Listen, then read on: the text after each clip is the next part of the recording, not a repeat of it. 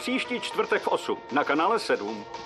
Děláš si srandu? To máme čekat týden, než se dozvíme, co se mu stalo, to je absurdní. Já vím, no proč to například nevysílají celý v jednom hodinovém speciálu? Vedení zřejmě neobjednalo dost epizod vnitřní sondy na celou sezonu, tak to teď musí natahovat na dva týdny.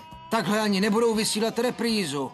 Televizní šéfové, to je teda fakt vrchol. Krom toho nedávají v telce nic, dokud není Bůh ví kolik hodin v noci. Bed Butlanzi.